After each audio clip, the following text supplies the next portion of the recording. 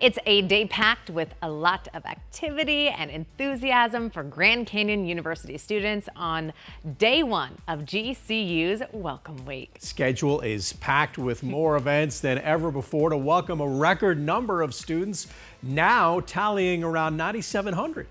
And someone else that we know is getting in on all the fun, and that's Team 12's Trisha Hendricks. She's on campus this morning, live right in the middle of all the action. Good morning, Trisha.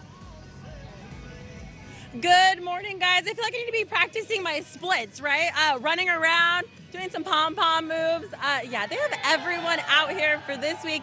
1,800 volunteers making new students, returning students feel welcome here at GCU for Welcome Week, one of the biggest events of the year. And joining us live this morning is GCU Student Body President Camden Morosco. Good morning. Hi, good morning. Thanks so much. Have you had some coffee? Uh, no, not yet, but I will later All today. right, we need to get Yeah. you suited and booted with that. Talk about the momentum that goes into Welcome Week. Yeah, I mean, this is a week that a lot of people put a lot of effort and time into. We have students coming from all over the country to move in. The Grove is where a lot of freshmen live, but they also live all over campus. Once students move in, they can take advantage of all the events we have this week. So it's a really fun time with a lot going on. So you're a senior, been there, done that, but you said you're from Tennessee. You remember a little bit of nerves that first day. Yeah, so we moved. It was a three day drive whenever we moved here. Moved in, got everything packed in, met my new roommates that I didn't know when I came to campus. Once we got to campus, uh, get everything situated, then come back to GCU and go to all the events like lip sync. Uh, goes on later in the year, but we have uh, a lot of events that go on by our activities board, uh, and it's just a really fun time and exciting to be here. It is a well-oiled machine. I mean, you're gonna have cars bumper to bumper, families,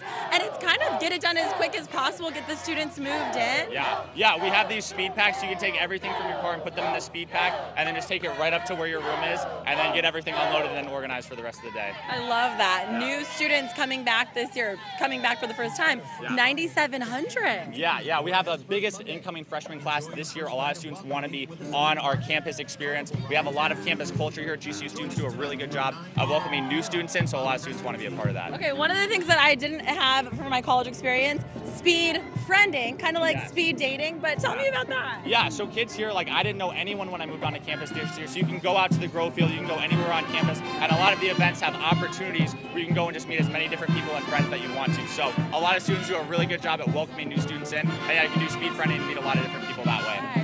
Everyone wants to be a part of this, right? I mean, you have the dance team, the cheerleaders, the band, Thunder. Yeah, yeah, there's a place for everyone whenever you come here, whether it's just going to an event, uh, participating, or even later when you're here, you can have uh, more opportunities to be involved and even lead uh, and move some other other freshmen in. So I think fun. Thunder had a little caffeine. Yeah, yeah, Thunder Thunder runs on Stampede, so he's good at keeping us all energized. Look at those moves. Fast feet, fast feet. All Yeah. right, so 600 students, part of the welcome crew on the ground,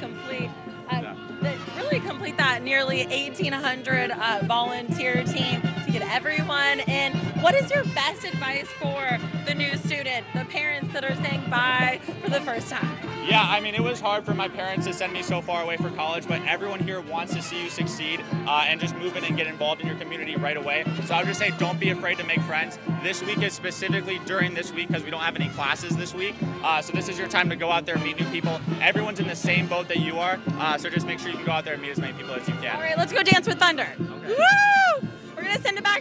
Studio.